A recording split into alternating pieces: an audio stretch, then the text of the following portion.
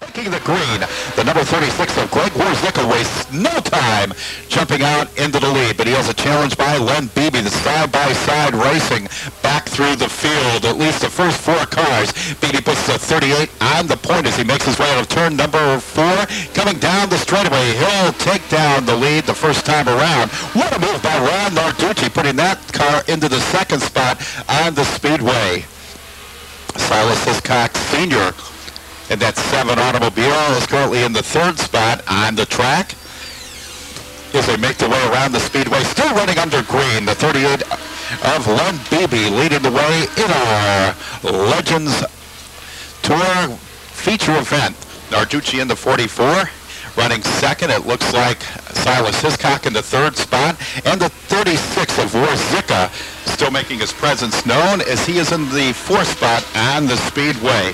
We'll look back through the field. The number six automobile making its way around the track as Vinny Esposito had a great, great heat run. He is currently in fifth, trying to hold off the charge of the 66 of Wally Silva. Excuse me, the double zero automobile of Pete Valeri. So some good, good action here in this Legend Car feature event. A lot of slicing and dicing going on from about fourth on back. But when they work off turn number four and back down to the stripe, it is car number 38 showing the way.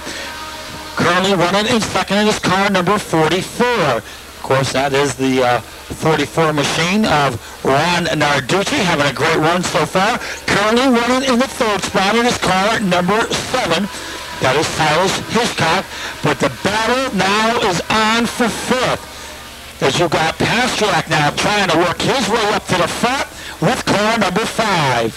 We mentioned a few moments ago about a swarm of bees making their way around the track. It is really up the ante this time around with the Legends, with those 1200 cc motors droning through the night air here at the Waterford Speed Bowl. Leading the way, as we mentioned before, Len Beebe. But Ron Narducci has something to say about this. He is closing the gap each and every time around this third mile circuit here at the Speedway, doing a great job keeping the 38 in sight as uh, Gary mentioned, Hiscock has made it the way over from Long Island in the seven. He's part of a two-car team with his son, and he's doing a great job out there as Narducci will cross the start-finish line in first. This time, Len Beebe having some mechanical problems through with the 38, so he's going to make his way into the infield. We also have the 47 automobile making its way into the pits. That's Ralph Beaver headed behind the wall, so a war of attrition already started here with the New England Dodge Legends.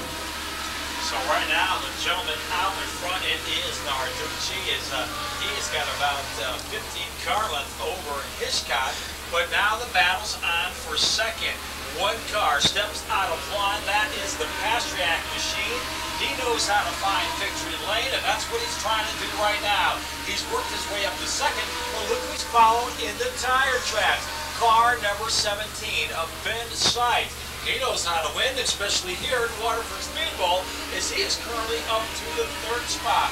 Fourth is Hiscock. Then in fifth is car number six for Vinny Esposito. Some good, good action here in this New England Dodge Dealers Legend Tour here at the Waterford Speed Bowl. What a battle with Pasteryak and Seitz out there coming down the straightaway right in front of us right now. Ben Seitz in the 117 looking for a, a place on the track to pass Pasteryak. Goes to the high side, looks to the inside, trying to find room. Course, Cassius Clark in the number eight in that Willys reproduction car, making his way out of turn number four right now, coming in front of the straightaway, is a great driver out of the state of Maine. He's trying to find some racing room as well as he makes his charge towards the front. Of course, the lap's melting away.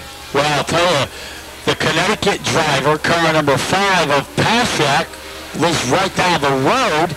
He is currently up into second and is starting to close in on Narducci. Top three machines throw a blanket over him as they are running for that number one spot. The big question is, Pasteryak now will follow the tire tracks, but now opens up the door is Ben Seitz with car number 17. He slips out to the inside of the Pasteryak machine, and now he'll work over the number one machine of Narducci as they work down at turn number three. Here comes Pasteryak one more time. He'll try to work to the inside as they run side by side. Up to the outside. Pasteryak down to the inside. That's the best battle on the speedway, and it's for second. And I'll tell you, if Narducci takes a peek in his rearview mirror, he's going to see a great battle of two competitive drivers trying to close it on him. Um, but we have two words for Narducci right now. It's called tunnel vision. Don't look back because it could get scary. We've got Pasteryak back there, Ben Seitz, side by side down the back straightaway, and probably about 30 car lengths, which doesn't take a lot with a Legends car. We've got a spin out there, a rather dramatic one as well out there, but it looks like that car will continue. We're still the green, track. Mark, and I'll tell you, we got a great battle for the number one spot. Is Narducci still in command, but Pasteryak is right there. But now, here comes Seitz, the challenge for the number one spot. It's the battle of the red, right up in the front of this one. The 17 of Seitz up to the outside. The 44 of Narducci as they run wheel to wheel off of turn number four. The best thing in the house, it's got to be Pasteryak. He's to himself now, do I go to the inside go to the outside? As he mixes his blue machine in with those red machines as they work down the back straightaway. The Budweiser, Bud Light, NASCAR, Winston Racing Series scoreboard tells the story so far. The top four machines. Seitz is still down to the inside. Narducci up to the outside. But now here comes Pasteryak. That's the battle for second now. As they work midway down the back straightaway, they'll hit the point down in turn number three. Give the second spot to Pasteryak. Pasteryak following, Seitz around the track right now, has the number five dialed in behind the 117.